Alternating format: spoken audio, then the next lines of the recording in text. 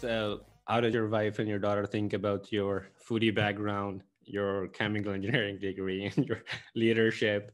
And are you doing something about your uh, missing days on um, elliptical machine? Uh, well, you know, after all this conversation, I have to uh, double down so that I don't become the poster child for the stuff that I only preach and don't practice.